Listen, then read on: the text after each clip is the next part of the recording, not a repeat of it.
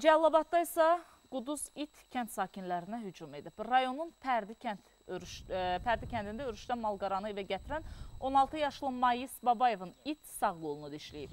Kəndin digər sakinləri də itin hücumuna məruz qalıblar. Yaralılar Cəllabad rayon mərkəzi xəstəxanasına müraciət ediblər. Onlara quduzluq əleyhinə vaksinlər vurulub. Hazırda xəstələrin müalicəsi ev şəraitində davam etdirilir. Onlara hücum edən it kənd sakinləri tərəfindən zərərsizləşdirilib. Qoyunları gətiriydim bəndir üstündən.